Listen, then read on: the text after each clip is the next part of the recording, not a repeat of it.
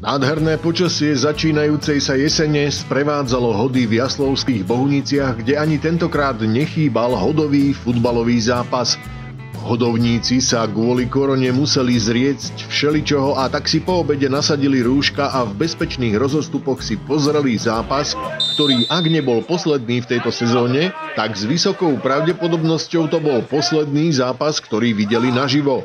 Zápas 8. kola 4. ligy Severozápad medzi domácimi športovými klubmi Blavá Jaslovskej Bohunice a Slovanom Hlohovec sa začal z hurta.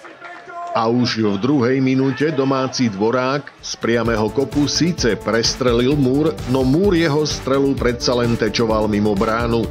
Tempo hry postupne opadalo a ani jedno mužstvo sa nedostávalo do vyložených šancí.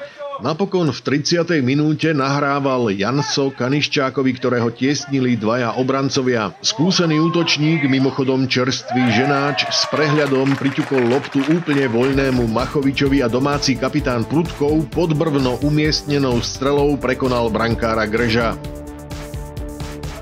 Do konca polčasu už diváci nevideli nič zaujímavé.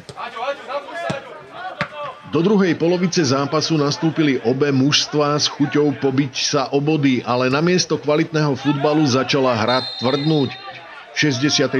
minúte prišlo k situácii, ktorá vyvolala veľké vášne. Lošonský rozohrával z veľkej vzdialenosti priamy kop. V strkanici v 16. sa z dvojice Janso Čulák ocitol na zemi ten druhý a rozhodca nekompromisne ukázal na biely bod. Ani zo spomaleného záberu sa nedá s istotou verdikt rozhodcu potvrdiť ani spochybniť. Loptu si napokon postavil Matúš Loskot. Matejkovič vystihol smerno prudká a dobre umiestnená Loskotová strela i tak znamenala vyrovnanie.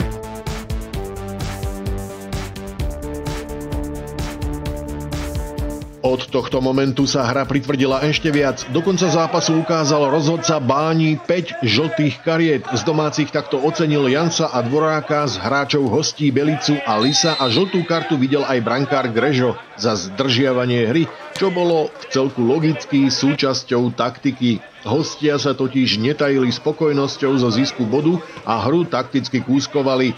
Nakoniec im to vyšlo a Eška Blava po predchádzajúcej prehre na ihrisku lídra súťaže Radimová stratila tentokrát prvé body i doma. Za akých podmienok a či vôbec bude súťaž pokračovať v tejto chvíli s istotou nevieme povedať a zostáva nám len dúfať, že medzi obete koronavírusu nebude patriť i regionálny futbal.